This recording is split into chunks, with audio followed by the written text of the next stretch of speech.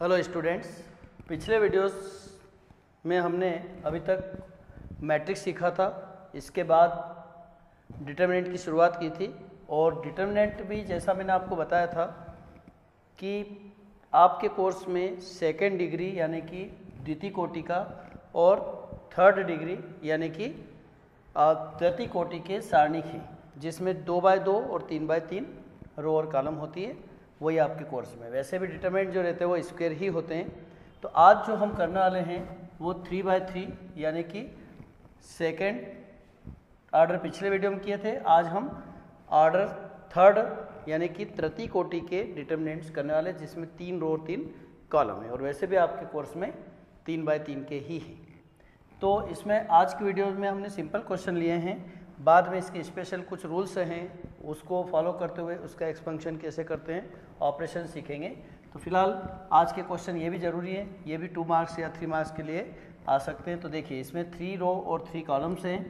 इसको पहले मैं आपको इसके एलिमेंट्स बताता हूँ कि इसमें एलिमेंट्स का अरेंजमेंट कैसा होता है। किसी भी थ्री बाई थ्री के एलिमेंट्स में डिटरमेंट में आपको अरेंजमेंट ऐसे देखना है। यहाँ जो एलिमेंट रहेगा वो ए इलेवन ट्वेल्व और ये थर्टीन कहलाता है। क्यों कहलाता है? इलेवन, ट्वेल्व, थर्टीन, अभी बताता हूँ। फिर twenty one, twenty two, twenty three. इसी प्रकार से थर्टी वन, थर्टी टू और थर्टी थ्री। ये आपको याद रखना है कि किसी भी डिटर्मेंट के जो एलिमेंट्स हैं उनका नंबरिंग ऐसा होता है। इसमें इसका मीनिंग ये है कि फ़र्स्ट रो का फ़र्स्ट एलिमेंट है। देखिए रो नंबर वन है row number two row number three first row का फ़र्स्ट एलिमेंट, फ़र्स्ट रो का सेकेंड एलिमेंट फ़र्स्ट रो का थर्ड एलिमेंट सेकेंड रो का फ़र्स्ट एलिमेंट सेकेंड रो का सेकेंड एलिमेंट सेकेंड रो का third element इस प्रकार से पहले हमेशा रो बोलना है, बाद में कॉलम बोलना है, ठीक है? और साइन भी इनके देखना है कि अगर इन दोनों का, जैसे वन प्लस वन मैंने आपको मैट्रिक्स में बताया था कि इन दोनों एलिमेंट्स का अगर टोटल करते और वो इवन आता है है ना? जैसे वन प्लस वन किया मैंने, ये आपका इवन नंबर आ रहा है तो ये आपका जब सम संख्या आती है है ना? सम संख्या आती है तो हमेशा आपको एलिमेंट को पॉजिटिव यूज़ करना है। और मान लीजिए वन प्लस टू ये एलिमेंट ले रहा हूँ तो वन प्लस टू कितना आ रहा है? थ्री आ रहा है। और थ्री कैसा आपका? ओड नंबर है मतलब विषम। तो ऐसी पोजिशन में जो एलिमेंट रहेगा, वो कैसा होगा? नेगेटिव ठीक है, इसको ऐसे याद नहीं रखना है प्लस माइनस प्लस माइनस आपको इन दोनों एलिमेंट्स को, मान लो मुझे इसका देखना है साइन तो two plus two four four कैसा है? सम संख्या है इवन नंबर है, इसलिए positive three plus three six six भी आपका पॉजिटिव आएगा। टू प्लस थ्री, ये भी आपका कैसा है? टू प्लस थ्री फाइव है, फाइव ओड है, इसलिए विषम यानी कि नेगेटिव आएगा, ओके? इसके बाद में हम आगे देखते हैं, यहाँ से चलते हैं। अब इसका एक्सप्रेशन करने में या एक्सपंक्शन करने में, प्रसार करने में आपको ध्यान रखना है इन एलिमेंट्स के साइन का भी। तो एक एक करके हम क्वेश्चन को लेते हैं। सबसे पहला क्वेश्चन देखें आप। इसमें लिखा गया है कि थ्री बाय थ्री का कोई डिटर्मिनेंट है। मैंने आपको बताया था डिटर्मिनेंट को डेल से भी शो कर सकते हैं। क्वेश्चन नंबर वन, ये आपका डेल दिया है। कितना है? Three, four, five, then minus six, two, minus three, eight, one, and seven. इसका आपको इवेल्युएशन करना है, या मान ज्ञात करना है, या वैल्यू ज्ञात करना है। तो इसको आप छः प्रकार से एक्सपेंशन कर सकते हैं। ठीक है, आप देख रहे हैं इधर? कितने प्रकार से कर सकते हैं? छः प्रकार से। तीन रो है इसमें और तीन कॉलम। हम चाहें तो R1, R2, R3 या C1, C2 और C3 किसी से भी एक्सपेक्शन एक्सपेंशन कर सकते प्रसार कर सक प्रसार करना बोलते हैं हिंदी में तो प्रसार कर सकते हैं। मान लिया जाए मैं R1 से आपको पहले सिखाता हूँ। किसी क्वेश्चन को R1 से कर रहे हैं किसी को C1 से। किसी से भी आप कर सकते हैं। मान लिया जाए इसमें हम लिख रहे हैं तो आपको यह लिखना चाहिए कि एक्सपेंशन बाय R1 R1 से प्रसार करने पर ऐसा हिंदी में लिखेंगे। अब आप R1 के एलिमेंट्स पे ध्यान देंगे। और साथ में नंबरिंग जो मैंने आपको बताया था 11, 12, 13 उसका भी ध्यान होना चाहिए। उससे आपको नेगेटिव पॉजिटिव का आइडिया होता है। तो जैसे थ्री ये थ्री लिखा मैंने। इसके बाद में इसका नंबर क्या था? वन एंड वन तो फ़र्स्ट रो और फ़र्स्ट कॉलम को आप हाइड करेंगे। फ़र्स्ट रो फ़र्स्ट कॉलम को हाइड करने के बाद जो इसका माइनर बचा है टू बाई टू के बचेंगे अगर थ्री बाई थ्री का डिटर्मिनेंट होता है तो जो माइनर बचेंगे वो टू बाई टू के आएँगे। तो इसका माइनर कैसा हुआ? फ़र्स्ट रो फ़र्स्ट कॉलम को हाइड करने के बाद, छिपाने के बाद ये बचा है two one minus three and seven then यहाँ आते हैं इट इज़ ट्वेल्व और ट्वेल्व यानी कि माइनस बोलेंगे one and two first row and second column क्या बचा? Minus six eight minus three and seven okay फिर से देखते हैं। ट्वेंटी, ये ट्वेल्व था, ट्वेल्व का मीनिंग होता है फ़र्स्ट रो, सेकेंड कॉलम। तो ये बचे हुए एलिमेंट्स मैंने इसी अरेंजमेंट में लिखे। फिर आता है यहाँ पर तो इलेवन हो गया, ट्वेल्व हो गया then thirteen thirteen one plus three four four means even number सम संख्या। और सम संख्या इसलिए पॉजिटिव ओके हमारी बात समझ में? पॉजिटिव नेगेटिव का होना बहुत ज़रूरी है। One and three first row and third column क्या क्या बचा?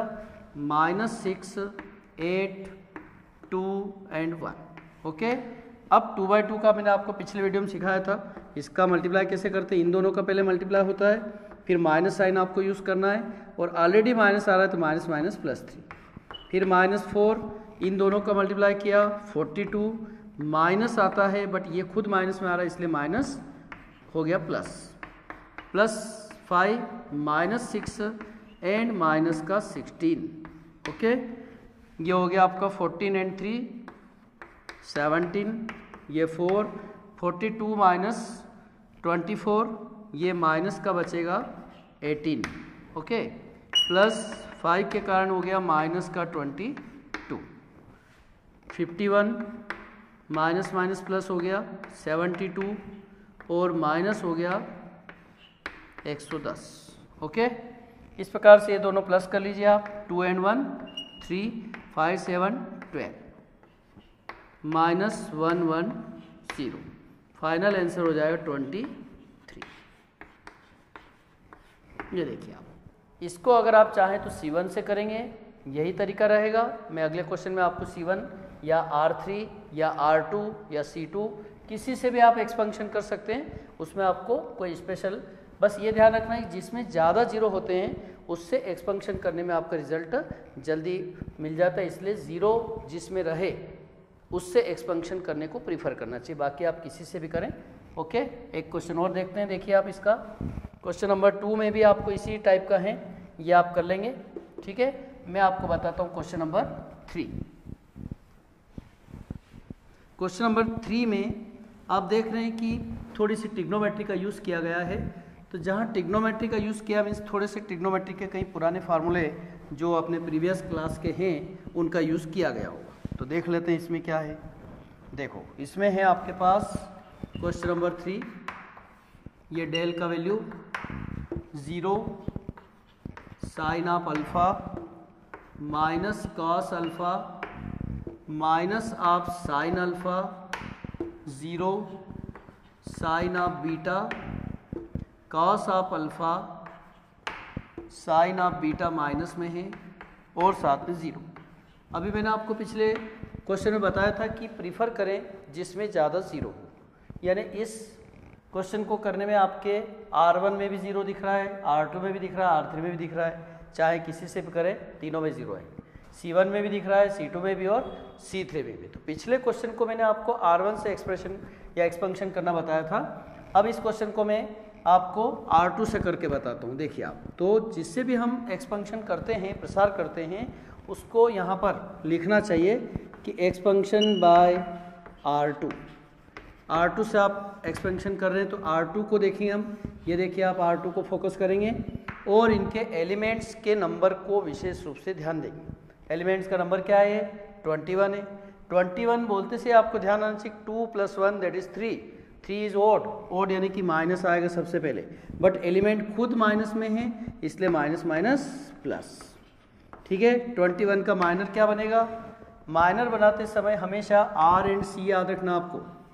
क्या याद रखना है? आर एंड सी रो पहले हाइट करेंगे, बाद में कॉलम ट्वेंटी वन तो सेकेंड रो और first column second row first column तो क्या बचा? Sine alpha minus sine beta, sine alpha, sine beta, minus cos alpha and zero. Okay, फिर से देख लेते हैं। वन, ये था आपका twenty one. Twenty one means second row and first column second row and first column ये elements आए थे। ओके। okay.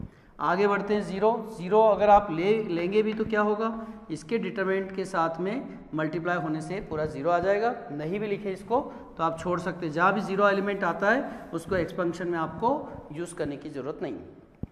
फिर क्या आता है? साइन बीटा कौन सा एलिमेंट है? 21, 22, 23 23 इज़ नेगेटिव ठीक है? यानी आप लिखेंगे minus sine of beta 23 means second row third column second row third column क्या आया?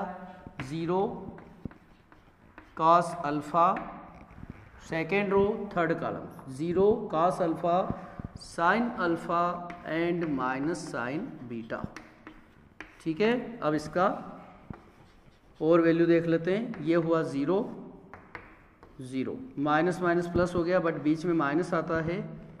Cos sine beta and cos alpha इसी प्रकार से माइनस साइन बीटा ये साइन बीटा और ये तो हो गया ज़ीरो और माइनस हो गया आपका sine alpha and cos alpha okay अगर इसका मल्टीप्लाई इसमें करते हैं तो क्या आना है देखिए आप साइन अल्फ़ा का मल्टीप्लाई साइन बीटा और कास अल्फ़ा करते हैं minus sine alpha sine beta cos alpha minus minus plus sine alpha, sine beta and cos alpha.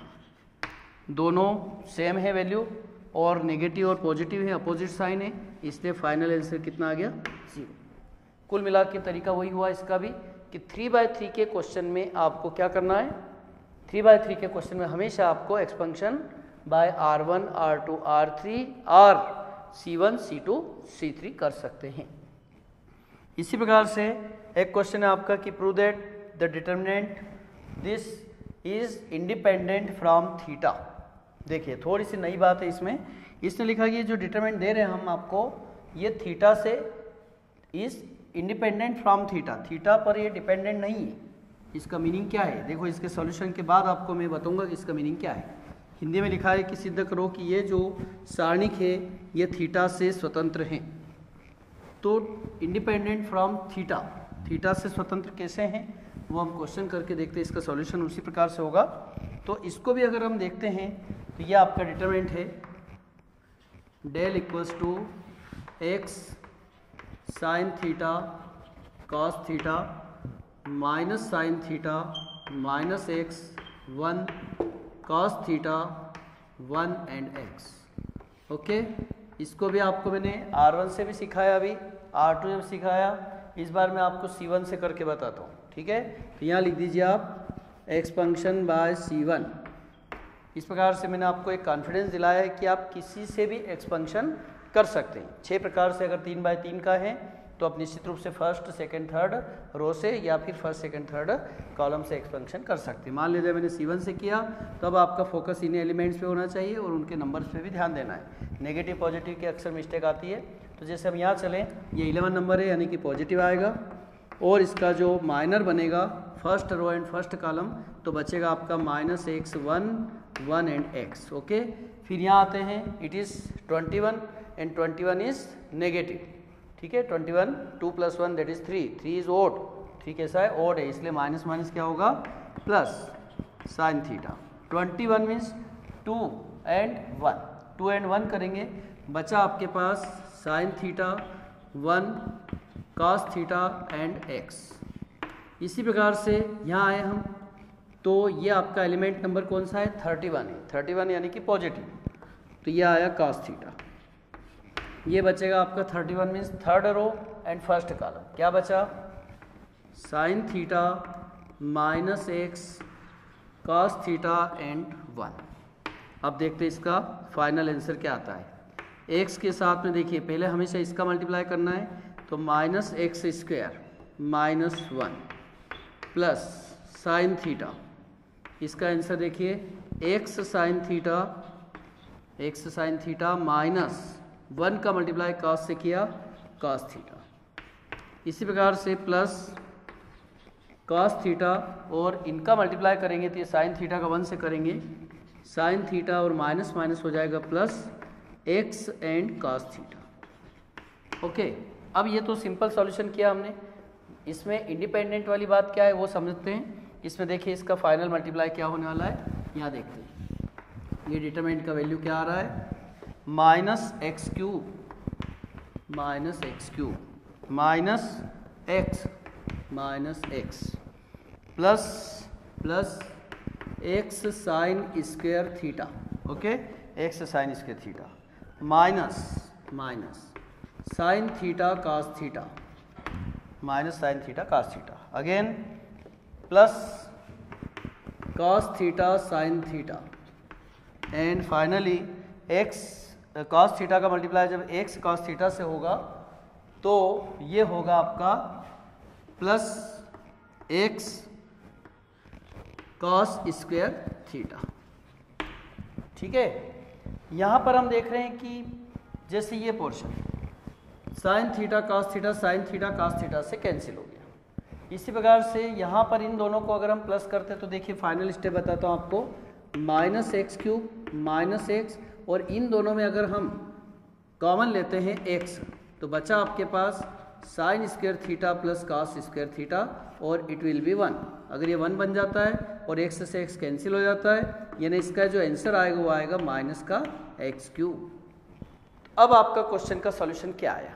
देखिए क्वेश्चन का क्या कहना था कि prove that this determinant is independent from theta सिद्ध करो कि ये जो सारणिक है ये थीटा से मुक्त है थीटा से स्वतंत्र है। Means the solution of this determinant is minus x cube इसमें कहीं थीटा का जो आंसर है वो थीटा इंक्लूड नहीं है। Means it is independent from theta ये आपको प्रूव करना था। ठीक है? तो ये बहुत अच्छे क्वेश्चन है ये सिंपल क्वेश्चन थे। अब थोड़े से हम अगले वीडियो में विशेष रूप से आपको पहले रूल्स बताऊँगा। और परीक्षा की दृष्टि से जो अगला वीडियो है, वो बहुत इंपॉर्टेंट रहेगा। मान के चलिए, उसी में से आपको फाइव मार्क्स का क्वेश्चन करना है। ये तो आपके बेसिक कॉन्सेप्ट पर बेस्ड थे इसलिए मैंने आपको विशेष रूप से इनकी तैयारी करी। अगले वीडियो को आप पहले विशेष रूप से ध्यान से देखें। ठीक है? ओके